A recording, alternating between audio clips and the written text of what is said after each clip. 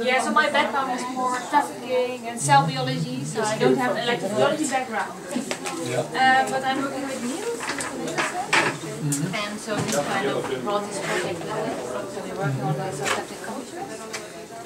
we're working with this uh, synaptotagmin uh, 3K mutant. So that, that still sends calcium but not clamp. Yes, exactly. So we. Uh, So we followed already your advice Yes. before you gave Yeah, it. yeah. we don't knock it out, but we replace it with a Yeah, mutant Yeah. that has a Yeah, so these are um, virus infected with the knockout synaptotagmin and then rescued with either wild type or the mutant.